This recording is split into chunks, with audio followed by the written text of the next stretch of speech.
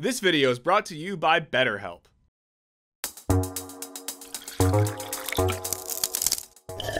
Neoliberalism.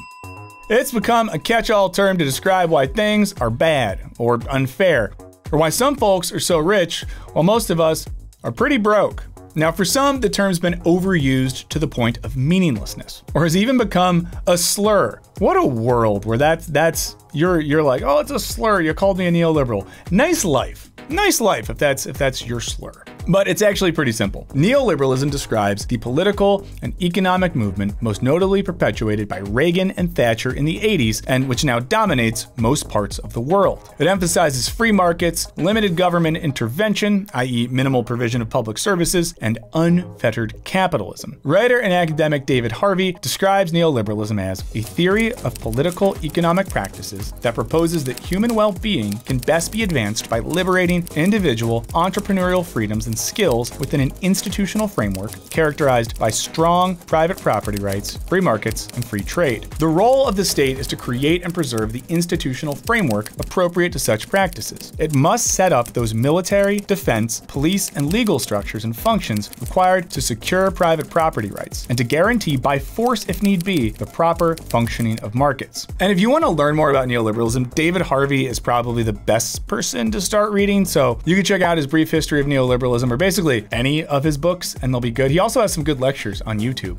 During the post war period, neoliberalism was something of a fringe position in economics, but the financial shocks of the 70s gave it the perfect opportunity to spread its wings and fly. Famously, a group of University of Chicago economists, nicknamed the Chicago Boys, used Pinochet's CIA backed coup in Chile as a sort of testing lab for neoliberalism. Um, it, it went pretty terribly, but neoliberalism's reputation escaped unscathed. For all of our Chilean friends out there, if you have thoughts on this, let us know. We'd love to hear them. Today, a neoliberal is basically someone who looks around at the various interrelated crises facing our world and believes that the remedy is more capitalism. Now, some might rightly point to the era of economic and technological innovation experienced in the West as evidence of neoliberalism's positive effects, or point to countries who have resisted neoliberalism to justify its immense value, while others might still feel like neoliberalism has become more like a culture than a system of economics. And maybe that's not such a wild idea. Maybe the best way to understand neoliberalism isn't to think of it as a political ideology, but rather as an all encompassing spiritual and metaphysical system. Now, this might sound wild, but today we're going to try to explain why neoliberalism might be a religion. We have become lovers of pleasure rather than lovers of the economy. Okay, but before we keep going, I want to stop and give a shout out to our sponsor, BetterHelp. Now, if you've experienced anxiety or depression, or just generally felt kind of overwhelmed lately, BetterHelp is a resource that can help you feel better. Now, to uh, to risk an overshare, guys, um, I'm someone that struggles with things like ADHD and depression, and having a therapist has been really helpful. And in recent years, seeing a therapist regularly has helped me make a lot of progress and just feeling a lot more functional and happy. So, you know, big fan of therapy here. Now, BetterHelp's network of more than 30,000 therapists are ready to listen to and help you. After taking a brief questionnaire, you'll be matched with a therapist whose expertise fits your unique needs. And thanks to BetterHelp's remote model, you can work with a therapist whose skills might not otherwise be available in your area. You can message your therapist at any time, and you'll receive timely and thoughtful responses. Plus, you can schedule your choice of phone or video sessions to receive counseling in real time. Now, in the event that you and your therapist aren't a perfect match, you can easily switch to a new one for no additional charge. So, join the more than 2 million people who have taken charge of their mental health with BetterHelp by visiting betterhelp.com slash wisecrack. Or you can click the link in the description. When you do, you're going to get 10% off your first month. Again, that's better, H-E-L-P.com slash wisecrack. Okay, now let's get back to breaking down the theology of neoliberalism. Okay, so at first glance, this might seem like a bit of a stretch. Obviously, neoliberalism doesn't have churches, creeds, and worship music. Well, at least not officially. Cash rules everything around me. Cream, get the money. Dollar, dollar bill, yo. But as we talked about in a recent video, the framework of religion can help us understand passionate and faith based behaviors that have nothing to do with pastors telling you that you're going to go to hell for loving yourself. I'm talking about masturbation. Now, as we've established, unfettered capitalism is integral to neoliberalism. And luckily for us, philosopher Walter Benjamin established a relationship between capitalism and religion back in 1921 in his fragment, Capitalism as Religion. Benjamin writes that a religion may be discerned in capitalism. That is to say, capitalism serves essentially to allay the same anxieties, torments, and disturbances to which the so called religions offered answers. And Benjamin establishes four key components of the religious structure of capitalism. Now let's start with the first two, and later, if you've earned it, we'll take a look at the third and fourth. Spoiler alert, you've already earned it. First, Benjamin claims that capitalism, of which neoliberalism is the number one boy, is a purely cultic religion which he goes on to explain means that capitalism has no specific body of dogma, no theology. Basically, capitalism doesn't have a Ten Commandments or a system of codified beliefs like what you generally get in organized religions. Instead, it's sort of like one of those weird college fraternities or sororities that's that's powerful because of its secrecy. This would make sense of why the adherents of neoliberalism might deny that they even exist, and they don't necessarily have their own Bible, a, a sort of sacred text that explains it all. But much like a cultic religion, neoliberalism could be seen as sustaining itself not via text, but by sacred practices and festivities i.e., it's an economic system. Now, as Benjamin writes, in capitalism, things have a meaning only in their relationship to the cult, which basically means that under capitalism, things are meaningful in so much as they have a direct relationship to the economy. For example, a college major is only useful if it leads to a high paying job or solutions to climate change are only possible if conducive to growing new markets. Now, this gets us to Benjamin's second point about the religious structure of capitalism, namely that the cult is permanent. He writes Capitalism is the celebration of a cult without dream of mercy. There are no weekdays. There is no day that is not a feast day, in the terrible sense that all its sacred pomp is unfolded before us. Each day commands the utter fealty of each worshiper. Okay, let's unpack this. So think about how in recent years, um, your car is no longer just a place to get you and the boys to happy hour at Outback Steakhouse. It's now a potential source of revenue when you use your weekends or evenings to drive for Uber. And your spare bedroom is no longer a place where your college buddies can crash. It's a short term rental opportunity on Airbnb. And even your 9 to 5 job is slowly creeping into your free time as you struggle to keep up with the Joneses. Also, show of hands in the comments if you've ever looked at Slack while sitting on the toilet on the weekend. And don't lie. Don't lie. Just, you gotta be honest. Now, the pursuit of the ends of capitalism is what neoliberalism constantly demands. Compare this to other religions, where followers come together on specific days, like Sundays or holidays like Christmas, Yom Kippur, or Ramadan. Instead of this type of practice in which religious celebration is detached from business as usual, the cult of capital requires constant participation. Every day is Sunday. And while you can stop going to church without going to hell, at least in this life, if we stop participating in the Church of Capital, we'll no longer be able to afford basic necessities and potentially die in a gutter. This is important because capitalism is not an opt in religion, it's imposed on us from the top down. Sort of like how your parents keep telling you that you're a Presbyterian because you were born into their family. To put the religion of neoliberalism into perspective, it's worth taking a detour to pre Columbian Aztec religion. And just to note that the Aztec Empire wasn't an empire in the traditional sense, but rather an alliance of three city states. Now, the Aztecs very famously engaged in a lot of human sacrifice. And this actually drove the expansion of the Triple Alliance Mexican state. Because basically, when everyone believes that sacrifice is necessary to keep things functioning, people are quick to come together under leaders who tell them what to do. Now, the Aztecs, or Mexica, believed that the world had already been destroyed a number of times and that it was, for lack of a better term, getting a bit worn out. I mean, I mean, who, who can't relate to feeling that, you know? And according to their beliefs, when our sun was created, it was supposed to have been created out of a young, strong god. But a sort of cosmic mix up happened, and it was created from a weak, old one. Basically, the sun was supposed to be Chris Hemsworth, but instead, uh, we, we got Christopher Lloyd. Roads? Where we're going, we don't need roads.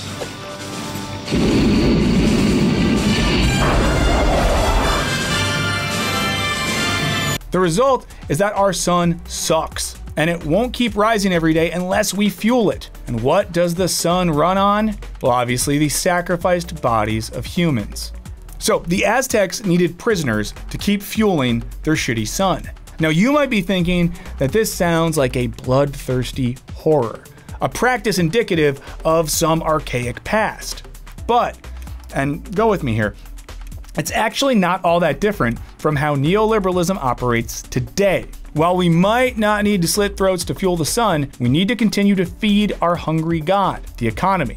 What people really should be doing is spending more. And whenever it has a problem, the solution is basically human sacrifice. Bad economy? Cut jobs. The rich want more money. Cut taxes and public services and raise taxes on the poor. Also, if you saw our recent video on child labor, it's basically this, right? Like, what do we do if we need more cheap labor? We'll sacrifice the childhood of children, put them in dangerous working conditions because it serves the economy. We're currently living through a moment in which inflation is one of the dominant economic phenomena, and many of us are trying to understand what it is and why it's making our lives worse. Now, one explanation is that it's being driven by rising energy prices, which is leading to rising food prices. Some central banks have responded by raising interest rates because they believe the cause of rising prices has to do with wages being too high. Um, hey, if you think you're getting paid too much, let us know in the comments.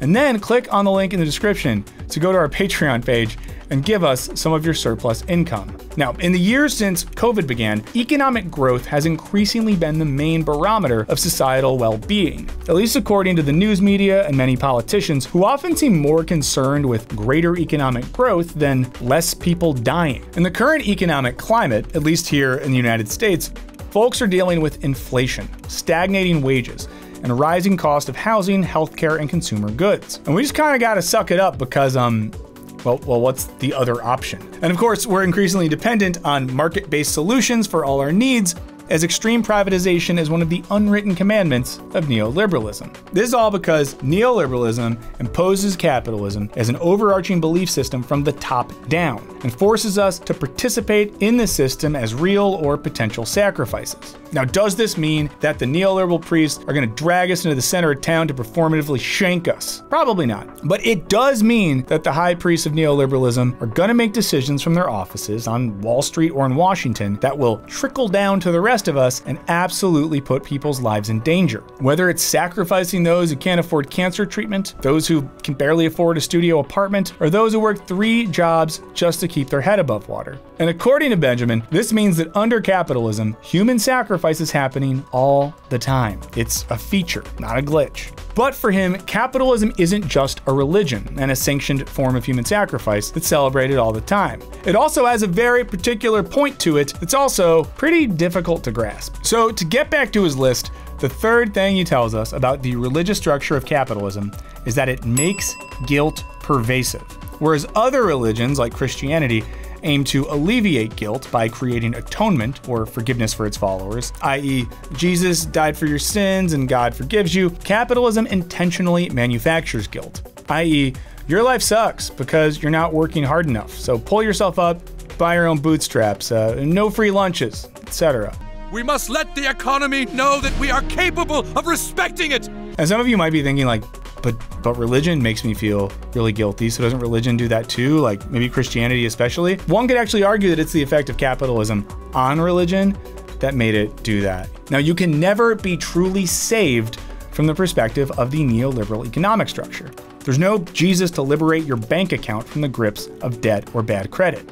Even and perhaps especially, the most outrageously wealthy pricks on the planet are still driven to appropriate more and more wealth for themselves. You can never have enough. There is always more. There is no such thing as too much piety. As Benjamin writes, a vast sense of guilt that is unable to find relief seizes on the cult, not to atone for this guilt, but to make it universal, to hammer it into the conscious mind, so as once and for all to include God in the system and thereby awaken in him an interest in the process of atonement. Now, while this might sound a bit too poetic to describe our current moment, we do see this in the trends of hustle and entrepreneurial culture, and all the videos on this very website with people telling you about how you can make extra money in your free time. Guys, let me tell you this, they're all full of shit. any video on this website where someone's like, here's how I, oh, drop shipping, make money, hustle, grind, this is my car, da da da. They are all full of Thank you. That's been my TED Talk. And recently, we've seen politicians use guilt as a tool to make people feel bad for not having good jobs, or for being on unemployment, or for wanting their student loan debt forgiven. This is a professional class bailout. Also, notice that when we talk about debt, it, it has to be forgiven, uh, except not by a god, but by a bank. Now, according to the Bible, um, the meek will inherit the earth, and, and blessed are the poor, and even the lowest can be raised to the highest with God's love. But under neoliberalism, even God needs to come down to earth and pay his own way, as no one gets to skip the line. Heaven simply isn't profitable enough to be left on its own. Benjamin finds this aspect of the capitalist religion to be completely despairing, but he also thinks that it's capitalism's secret hope. He writes Capitalism is entirely without precedent, and that it is a religion which offers not the reform of its existence, but its complete destruction. It is the expansion of despair until despair becomes a religious state of the world and the hope that this will lead to salvation. God's transcendence is at an end but he is not dead. He has been incorporated into human existence. Um, this is a topic for another time, but for Benjamin and others, sometimes this despair can be good, as if things get so incredibly shitty, we might be motivated to create our own salvation. Now, he's saying that capitalism aims to appropriate absolutely everything people, nature, even God, and then submit them all to its law. And if the God thing sounds a little weird, take a second and think about the megachurch and prosperity gospel phenomena, where religion has seamlessly merged with neoliberal culture. Someday payday. Hallelujah, what a payday. Now, if nothing else, Benjamin might be seen as anticipating the environmental crisis and why neoliberalism doesn't really seem too concerned about doing anything to uh, to like stop it. Because existence as we know it doesn't really matter. Only the market does. Human lives can be sacrificed so long as the economy grows. Now, the question you might be asking is like, why? Why is all of this? But Benjamin gives an answer to this with his fourth point uh, about the religious structure of capitalism, which is that its God must be hidden from it and may be addressed only when his guilt is at its zenith. The cult is celebrated before an unmatured deity. This means that there is some ultimate purpose to which everything in capitalism is tending towards, however destructively. But this purpose isn't clear to us yet. We're basically just Dorothy at the entrance of the Emerald City. At the present moment, it seems like the best we can do to please the invisible gods of the market is just to rush headfirst into perpetuating the system as it stands. Our survival is at stake after all. So let guilt be our North Star, the market be our God, and make atonement impossible, all in the hopes that maybe one day the ghost of Milton Friedman will tell us what it was all for. The economy is our shepherd. We shall not want. Now, this probably isn't what any actual neoliberal would say about their system of beliefs, at least not in public, but it feels like one of the best explanations we have. And according to Benjamin, neoliberalism is a religion which aims to incorporate everything into an endless, destructive, sacrificial ritual which makes atonement impossible and guilt universal. Everyone and everything must be continually sacrificed to the market because uh, of like profit for your boss and maybe the real reason that so many folks willfully continue to remain members of the Church of Neoliberalism is a belief that they just have enough faith and make enough sacrifice that one day they'll be the ones sitting in the front pew at Neoliberalism Sunday service getting first dibs at the money and the offering plate. But what do you guys think?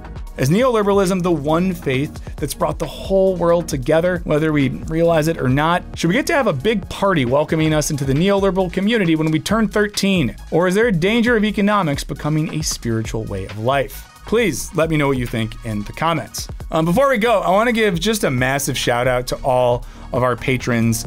God, you help us a lot, and we really love it.